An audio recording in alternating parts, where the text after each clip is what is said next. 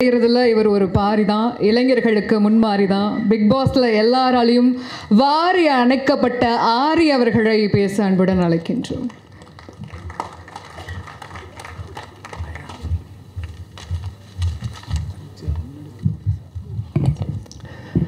மாதா பிதா குரு தெய்வத்து வணக்கம். நான் பேசும் என் தாய்மொழி தமிழுக்கு முதல் வணக்கம். லயாவுக்கு மிகப்பெரிய ஒரு பாராட்டுகள். ரொம்ப நாளாக அவங்க தமிழ் நல்லா பேசுவாங்கன்னு எல்லாருக்குமே தெரியும். பட் ஒரு சினிமா விழாக்களில் தமிழை எவ்வளோ அழகாக பயன்படுத்தணுங்கிறதுக்கு மற்றவர்களுக்கு ஒரு முன்னுதாரணமாக ஒரு விழாவாக அது சிறப்பாக பண்ணிகிட்ருக்காங்க மகாவுக்கும் எனக்கும் என்ன தொடர்பு அப்படின்னு பார்த்தீங்கன்னா மதி சாரை தெரியும் தயாரிப்பாளர் தெரியும். அதை தாண்டி இந்த மகா படம் ஆரம்பிக்கும் போது I just went for audition for this film ஒரு ரெண்டு கேரக்டருக்கு அப்போ பிருத்திவிராஜ் பண்ணுறதா இருந்தது. ஃபைவ் லைட்ஸ் பக்கத்தில் ஆஃபீஸ் போட்டு மேலே ஜமால் அங்கே தான் அவரை சந்திக்கிற ஒரு வாய்ப்பு கிடைச்சிது. அப்போவே இந்த ஸ்கிரிப்டை பற்றி ஒரு ஒன்லைன் சொன்னார். அன்சியாஸ் வந்து இது மாதிரி பண்ண போகிறாங்க அப்படின்னு ஸோ ரொம்ப நல்லா இருந்தது. அதுக்கப்புறம் பண்ண முடியல. அடுத்தடுத்து கொஞ்ச நாள் கழித்து அப்புறம் அனௌன்ஸ் பண்ணிட்டு வந்தது. அதுக்கப்புறம் சிம்பு ஆன் போர்டுன்னு சொல்லும்போது படம் ஒரு பெரிய விஷயமாக பேசப்பட்டது. இந்த படத்தை பற்றி ஒரு விஷயம் சொல்லணும். ஹன்சியாஸ் டூயிங் அ லீட் இந்த படத்தில். இதில் வந்து சிம்பு வந்து நடிச்சிருக்காங்க. ரெண்டு பேருக்குமே ஒரு சிறப்பு அம்சம் இருக்குது ரெண்டு பேருக்கு ஒரு குவாலிட்டி இருக்குது அது எவ்வளோ பேர் கவனிச்சிருக்கீங்க அப்படின்னு தெரில சிம்பு வந்து இந்த படத்தில் நடித்து கொடுத்துருக்காரு அப்படின்னு நமக்கு எல்லாருக்குமே தெரியும். ஒரு ஃபீமேல் சென்ட்ரிக் ஃபிலிமில் ஒரு லீடிங் ஆர்டிஸ்ட்டாக ஒரு ஹீரோவாக இருக்கிறவர் வந்து நிறைய பேர் நம்ம பண்ணுறதில்ல பட் இந்த படத்துக்கு வந்து அவர் பண்ணி கொடுத்துருக்காரு. பட் இதுக்கு முன்னாடியே அன்சி அது மாதிரி ரெண்டு படம் பண்ணி கொடுத்துருக்காங்க. அது அவங்களுக்கு தெரியுமா என்னன்னு தெரியல. பட் இண்டஸ்ட்ரியில் ஒரு டாப்பில் இருக்கும்போது நாம் பண்ணுற படம் நமக்கானது அப்படின்னு இல்லாமல் அடுத்த ஜென்ரேஷன்லேருந்து வர ஹீரோக்களுக்கு அவங்களுடைய ஃபேமை ஒரு இடத்த கொடுத்து ரெண்டு படம் பண்ணியிருக்காங்க.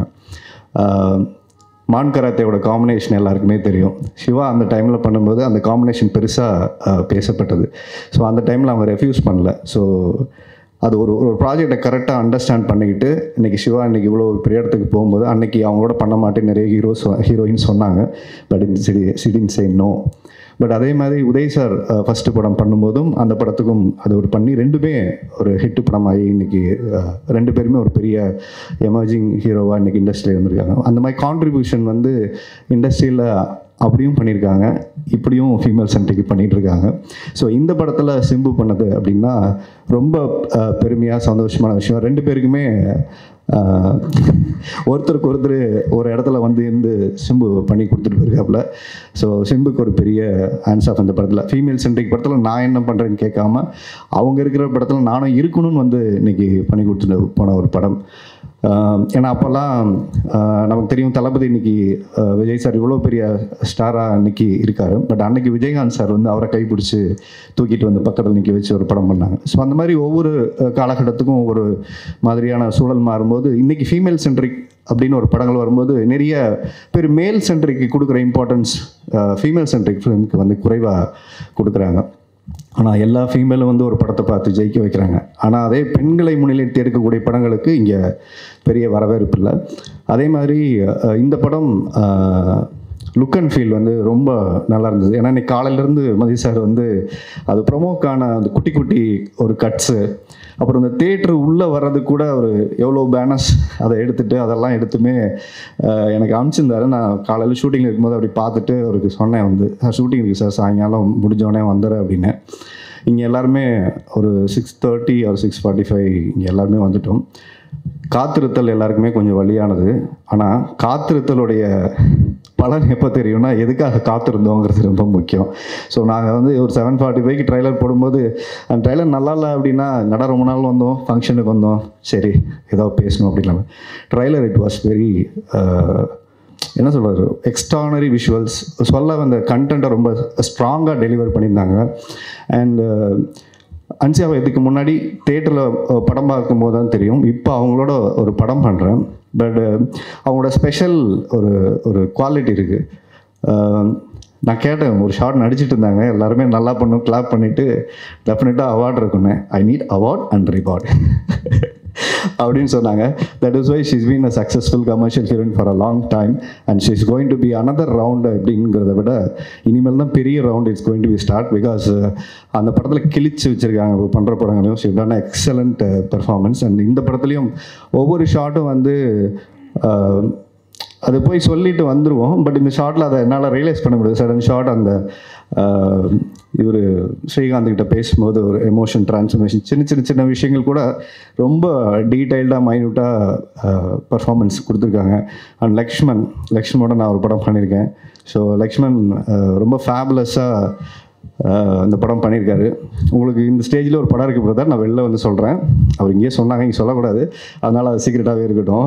அதனால ஸோ ஒர்க்கு ரொம்ப நல்லா பண்ணியிருக்காங்க. அந்த ஆர்ட் டைரக்டர் அவருடைய ஒர்க்கும் நல்லா இருக்குது நான் ஏதோ இந்த படத்தில் அவர் தான் வில்லன் மாதிரி வந்து உட்கார்ந்தார் பக்கத்தில். அப்புறம் தான் கேட்டேன் இல்லை அவர் ஆர்ட் டைரக்டர் தான் அப்படின்னு சொன்னாங்க. ஸோ அண்டு மதி சார் பத்து மாதத்தில் எல்லாருக்கும் புள்ள பிறக்கணும். ஆனால் பதினோரு மாதம் ஆயிடுச்சுன்னா ஏன் புள்ள பிறக்கலன்னு எல்லாரும் கேட்க ஆரம்பிச்சிருவாங்க. அதே நேரத்தில் குழந்தை பெற்றுக்கலைனாலும் ஏன் பெற்றுக்கலன்னு கேட்பாங்க. அந்த மாதிரி ஒரு வழியான க கட்டத்தை கடந்து வந்திருக்காங்க. அண்ட் தத்தோ மாலிக் அவருக்கு ஒரு பெரிய தேங்க்ஸ் கரெக்ட் டைமில் ஒரு சப்போர்ட் பண்ணி எல்லாருமே ஒரு ஒரு படம் ரிலீஸ் ஆகுது.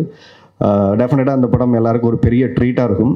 அண்டு எல்லாரும் தேட்டரில் வந்து இந்த படத்தை பார்த்து சப்போர்ட் பண்ணுங்கள் ஸோ இந்த படம் வந்து ஒரு கண்டென்ட் ஓரியட் ஃபிலிம் நம்ம என்டர்டைன்மெண்ட்டாக எல்லார்ட்டையும் கேட்டேன் ஏன்னா ஒர்க் பண்ணாங்க எல்லாமே ஃப்ரெண்ட்ஸு எல்லாமே ஒரு த்ரில்லராக ஒரு ஜாலியாக தேட்டரில் வந்து ஒர்த்தாக உட்காந்து பார்க்குற அளவுக்கு ஒன்று ஒரு படமாக அது இருக்கும். ஸோ அந்த வகையில் இந்த படம் சீக்கிரம் ரிலீஸ் ஆகுது.